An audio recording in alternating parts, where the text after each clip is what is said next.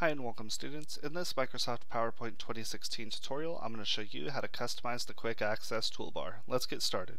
So you'll see that I have a PowerPoint presentation open here. It's a blank presentation and so the quick access toolbar on any default uh, PowerPoint will be right up here along the top left and these are basically buttons that you should use pretty regularly that you cannot find within the regular ribbon area. And so you'll see save is right there.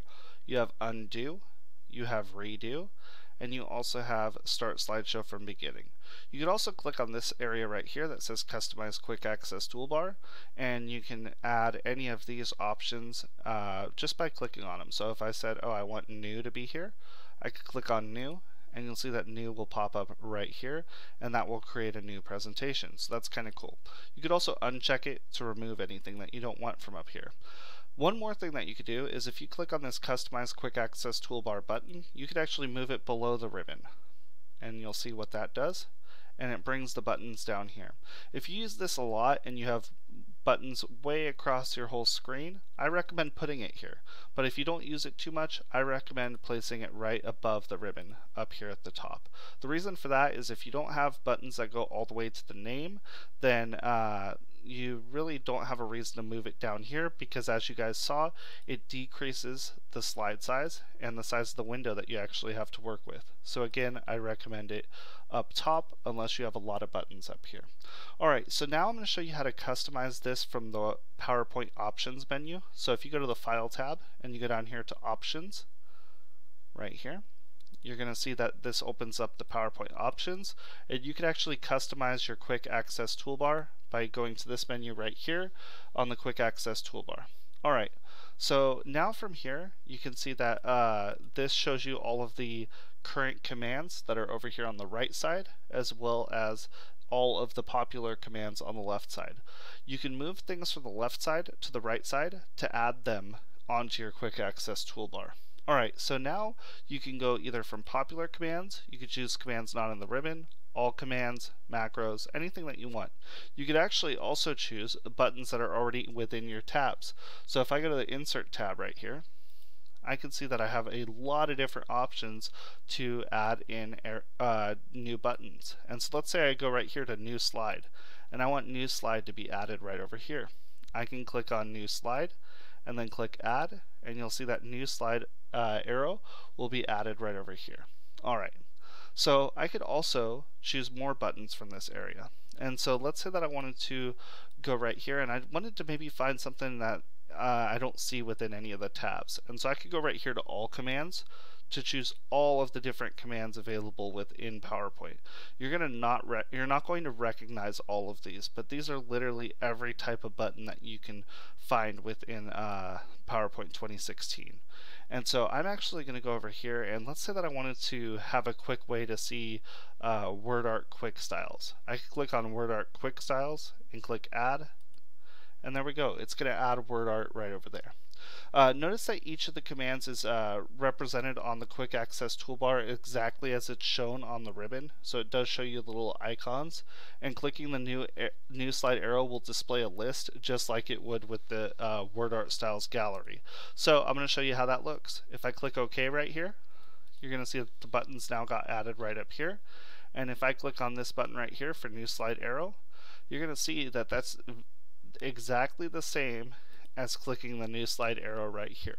Okay, so unless you use these commands all the time up here, I don't recommend putting them up here um, because if I know where the new slide arrow is at in the home tab and I'm usually clicked on the home tab, there's really no point on me having it up here at the top. Alright, so now I'm going to go to the view tab and I'm going to uh, make sure that my ruler is turned on and so Notice that when I moved the quick access toolbar below the ribbon, it also moves the ruler as well. Okay, and so just uh, keep that in mind uh, so that you know the best spot for placement for your uh, quick access toolbar. Alright, so now I'm going to move it back above the ribbon and I'm going to go to the File tab, back to Options, and back to the Quick Access Toolbar options. Okay, so now what we're going to do is uh, from here, I'm actually going to, in the left pane, display the commands that appear on the slideshow tab. And so I'm going to click right here and go down to the slideshow tab. And these are all of the options within the uh, slideshow tab. And I'm going to add the hide slide button to the right side. And if I go right here, I can add the hide slide button. Okay. Now in the right pane, I'm going to move the new slide button to the bottom of the list. That'll be the far right icon on my quick access toolbar. Keep in mind that the top of this is equivalent to the left side of this. The bottom of the list is equivalent to the right side of the toolbar. So if I take, um, which one did I say, new slide from before, and I try to drag it, it's not going to work. You have to actually hit these arrows right over here to reorder uh, in a custom fashion. So I could go right here, move down, move down, and now new slide will actually be on the right side if I click OK. And you'll see right here, OK. Now new slide is on the right side of hide slide. Alright, so that's uh, how to organize those. If I go to File Options, and I go back to my Quick Access toolbar, you're going to see here that I have all of my options right here. Alright, so now what we're going to do is I'm going to go ahead and uh, insert a separator. Okay, and so for separators, you're going to see right here is at the top of any of the commands that you choose is a separator. And this is how you can actually organize them uh, with a little blank space in between so it's a little bit easier to see what buttons are located where. And so I'm going to insert a separator by clicking on separator and clicking add and that'll add a separator over there. So I'm going to insert a separator between the original commands and the commands that I added on this list. So the separator is right here. And I'm going to press up a few times and that's going to put the separator right before uh, WordArt Quick Styles. Okay. And then I'm going to add in two separators between the ruler and uh, the WordArt commands. So right here, I'm going to click on separators. One, two. Okay. And so I'm going to actually add in these right between hide slide and new slide. And watch what happens. So one more time, I put a separator after start from beginning and two separators in between hide slide and new slide. And I'll click OK. And now look at those separators. They're right there, and they're vertical lines. They help you uh, stay organized right up here. And I'm going to show you it down below the ribbon now. And you'll see it just adds a little bit of space in between the buttons just so it's a little bit easier for me to locate what's going on. Alright, there we go. And so now what I'm, I'm going to do is show you how to remove areas from the quick access toolbar or buttons from the quick access toolbar. So if I go to the file tab, options button, and I go back to the quick access toolbar, okay, I'm going to open this up and so uh, I'm going to reset it and I'm going to show you how to do this. First, I want to show you how to remove something. Let's say I want to remove the quick art uh, word art quick styles. I click right there. I click remove. So that's how you remove something. I want to remove a separator. Click on the separator, remove. If you've customized your quick access toolbar and you want to reset it to your default settings, you go right down here to customizations. You click on reset and you put reset only quick access toolbar. You click on that and it says, are you sure you want to restore it?